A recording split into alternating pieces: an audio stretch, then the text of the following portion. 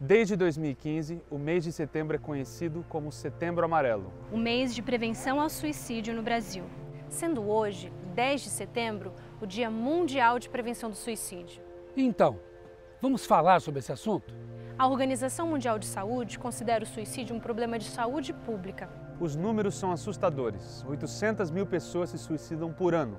Uma pessoa a cada 40 segundos. E o suicídio é a segunda principal causa de morte entre os jovens de 15 a 29 anos. É importante saber que é possível prevenir o suicídio. E a primeira medida preventiva é a educação. Precisamos deixar de ter medo de falar sobre o assunto. Quebrar estigmas e tabus. E compartilhar informações sobre o tema. Então, vamos descrever algumas das principais crenças errôneas sobre o suicídio. Que dificultam a prevenção e o acolhimento. Falar sobre o suicídio pode encorajar o ato. Não é bem assim. Conversar abertamente sobre o assunto pode fazer com que a pessoa se sinta acolhida e tenha oportunidade de buscar a ajuda necessária. Ele está ameaçando se suicidar apenas para manipular. Toda ameaça de suicídio deve ser compreendida como um pedido de ajuda.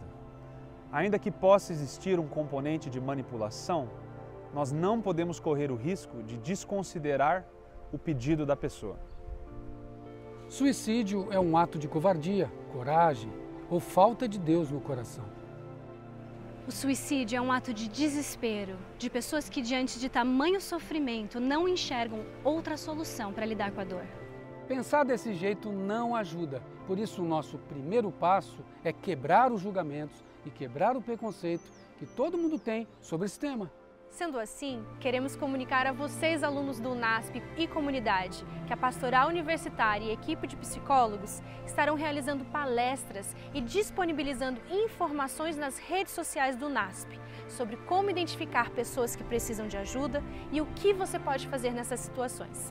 Se você está sofrendo, procure algum serviço, procure alguém, procure ajuda. Você pode contatar a Pastoral Universitária pessoalmente ou pelo telefone 19 3858 9002. Ah, e gostaríamos de ressaltar o serviço do Centro de Valorização da Vida. Através do número 188 ou pelo chat do site, você pode conversar com alguém em momentos de crise, 24 horas por dia, 7 dias da semana. Procure ajuda e lembre-se: falar é a melhor solução.